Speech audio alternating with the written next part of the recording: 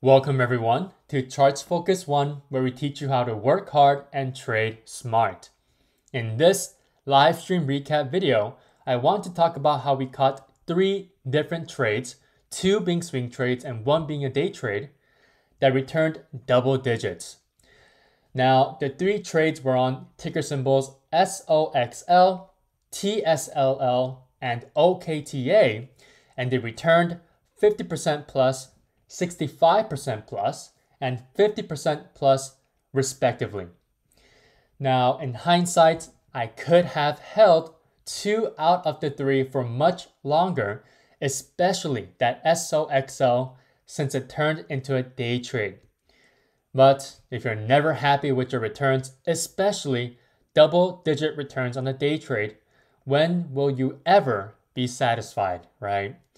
So if you're ever questioning your returns, especially after a double digit return like the ones that we got from over the weekend as well, you should know that you're getting very, very greedy. And eventually that greed will spill onto your next trade, which can definitely harm your capital or any profits that you have previously made. Now with that in mind, let's go over each trade. For this video, I will treat you guys with a little sneak peek of the specific channel in the private CFO Discord, where all of these amazing swing trades go down and show you the exact time of entries and the specific option contracts that we used. Okay, let's start off with SOXL, which you guys can see on your screen. So after last week's midweek pullback that started on Wednesday, I saw that this semiconductor three times leveraged bull ETF, what a mouthful, looked a lot better compared to all the other names that we were looking at this week. Why? Well, it pulled back to the daily 50 SMA and held onto it without much of a larger sell off. So, this dark blue line right here. And instead, it continued to bounce at the 50 SMA, giving it grounds for more buyers to come in. And that's exactly what happened, and that's exactly where we got involved. So instead of falling all the way back down to the daily 21 SMA, which is my light blue line here, which occurred for a lot of stocks, including the broader market's S&P 500, it held onto my 10 SMA, which is my red line over here, while retesting the daily 50 SMA. To me, this was a very clear indication of relative strength during that midweek pullback, which is why, in hindsight, I should have held longer instead of making it into a double digit return day trade. It's that shoulda, woulda, coulda moment that every single trader feels no matter how long you've been trading in the stock market. Now, here is where we entered. If we take a look at this specific channel, the CFO Pro Traders channel here, okay, we got in at January 20th, 2023, which was last Friday, at 6:58 a.m. And we got specifically the 14 strike call contracts that expire on February 17th. Again, 14 call strike contracts that expire on February 17th. And we got in at 6:58 a.m. Okay, I repeated myself so that you guys can remember that. And so if we put that information on the 15 minute time frame, right? So as shown by the small arrows here, this is where we entered on this candlestick. So my initial entry point that I wanted everyone to get into was over $12. However, we got in a little bit early, maybe around uh, 11.94, 1995-ish is what I remember. Um, but this is where we got in. And the reason for that is that I suspected that we were going to start making some sort of a base here. And what base? Well, specifically an ascending triangle base. And so as we continue to move up and down and oscillate on this ascending trend line of support, we moved slightly lower and on this candlestick, and that's shown right over here. Okay. We added more at 7.03 a.m. to that specific SOXL or SOXL swing trade. Okay. And so right here is where we got in and we actually went in again at 11 point, uh, I believe it was like 83-ish or 85-ish. Doesn't really matter, but uh, all that matters is that we got in on this candlestick, right? And so after this move up higher, when we saw buyers coming back in around the 11.80 support level, which was also a previous level of support on the previous day on Thursday, we continued to move away and away and away. And ultimately, we ended up turning this swing trade into a day trade. So right over here, as we continue to go up higher and higher and higher, okay, uh, the returns went from 5% to 10% to 20% to 30%. And eventually, I said, SOXL, this is enough of a push. I will just convert this into a day trade taking everything off for 50%. So this one, obviously, if you guys take a look, right, we had our final exit near the high of the day on this candlestick. And in hindsight, we could have held that as a swing trade because on Monday, which was yesterday, we pushed way higher than the previous high of the day on Friday. And so on this candlestick, we could have probably made triple digit returns. And again, this is where that shoulda, woulda, coulda situation comes out over and over again. And, uh, you know, it's one of those moments when you may seem like you've missed out on a lot, but again, double digit returns on a single day trade is amazing. So if you guys are ever beating yourself up because you didn't hold through over the weekend or just the next day, don't do that. If you had great double digit returns on that trade already, you should congratulate yourself. That's an amazing return on such a risky market environment. Now, the only reason why I want to exit was that in the event that we pull back over the weekend, because we pulled back on Wednesday right after hitting this huge level of resistance at 13.50. And so there's a possibility that the high of Friday could have been a second lower high point compared to the first high pivot point of 13.76, which is on this specific daily candlestick. Okay, so this resulted into a day trade, but we got over 50% plus returns. All right, so the second trade, which turned out to be a great swing trade, was TSLL. Now, this one was actually entered a few minutes before SOXL. So if we take a look back on the CFO Discord here, okay, we entered into TSLL a few minutes before we entered SOXL. So this one actually turned out to be a great swing trade. So we got in at 6:45 a.m. on the same day, last Friday. So let's check it out. On the 15 minute time frame, okay, we got in right on this candlestick. Okay, so why did it enter in here? Well, first of all, we're holding 6.55, and this was a previous level of intraday support and resistance. If you take a look past here, it's a level of support and a level of resistance on Thursday, last Thursday. And so after looking at the first 15 minute candlestick form, I knew that there are buyers. How? Well, because of the long bottom wick or long shadow at the bottom of this specific 15 minute candlestick.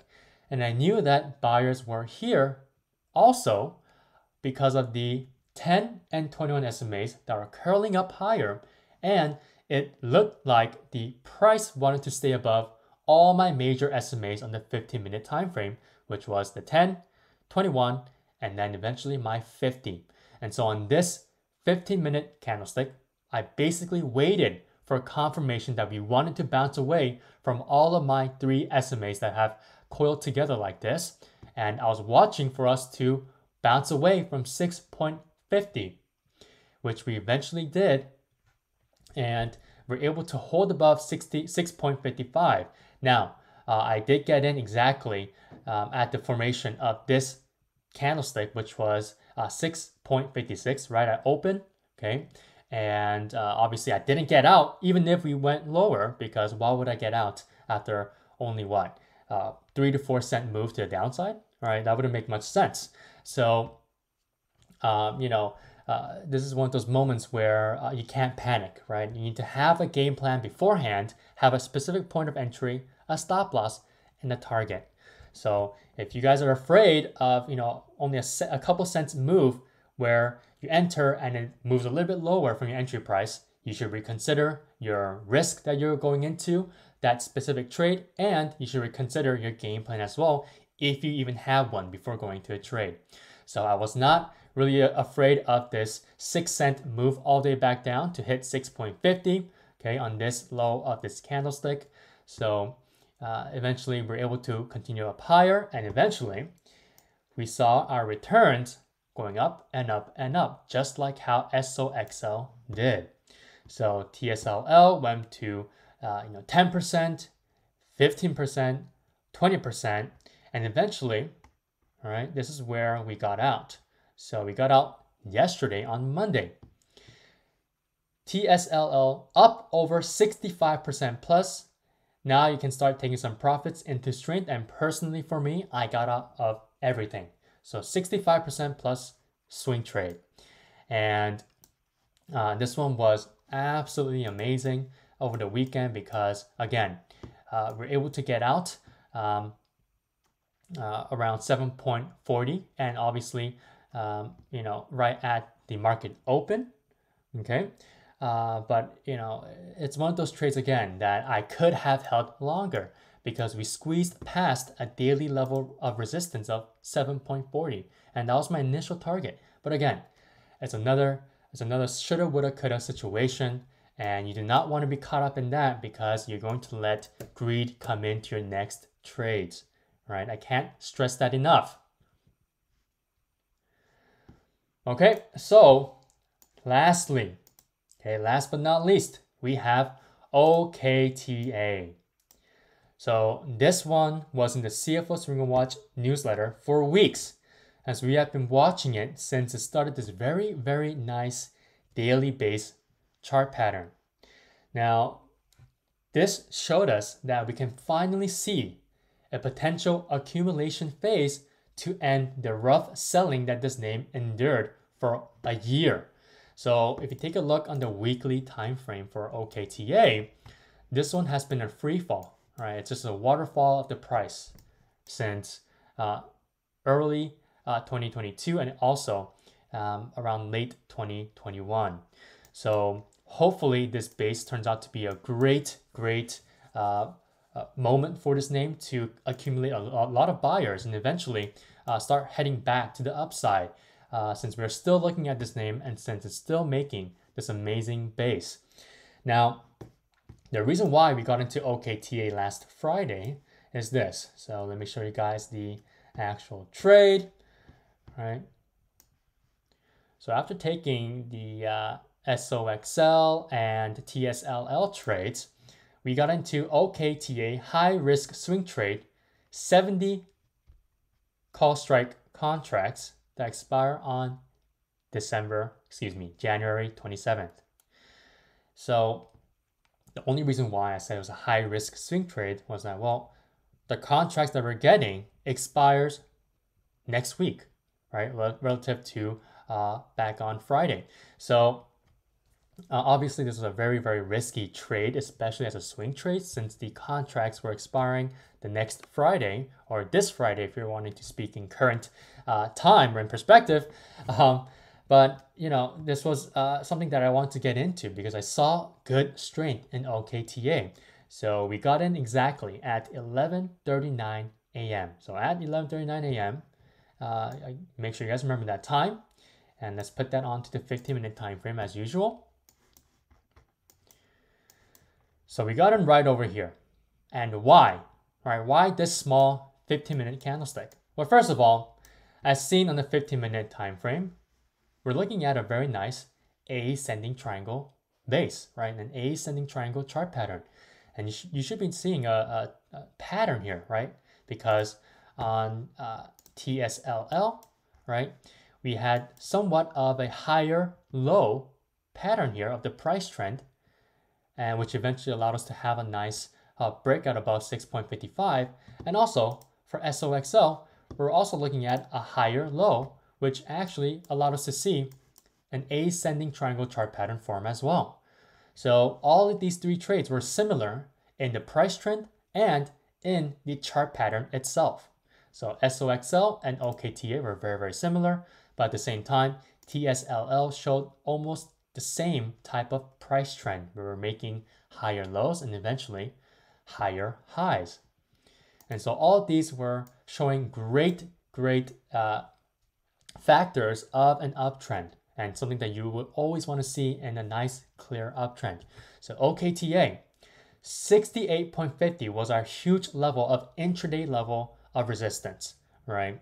And as we were forming this ascending triangle chart pattern, I said, look, if we decide to uh, move over 68.50, I'm going to get in, right? I have to get in because throughout the entire day on Friday, the software name was showing incredible strength, while the entire tech sector was kind of lagging, while other ind individual names were pulling back harder.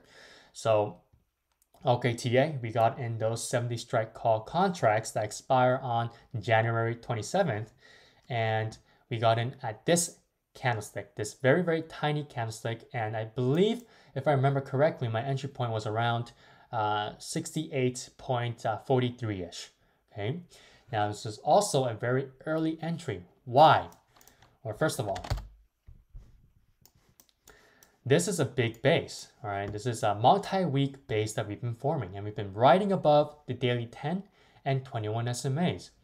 And I've already told this to my CFO Swing Watch members this week, since OKTA is also a name that we're watching for this specific week, um, that if you don't want to be involved in the chop that usually comes, right, as we're moving sideways and we're forming this uh, nice base or accumulation phase, okay, you should just wait until we're able to see a breakout over this base. And what is that uh, breakout number?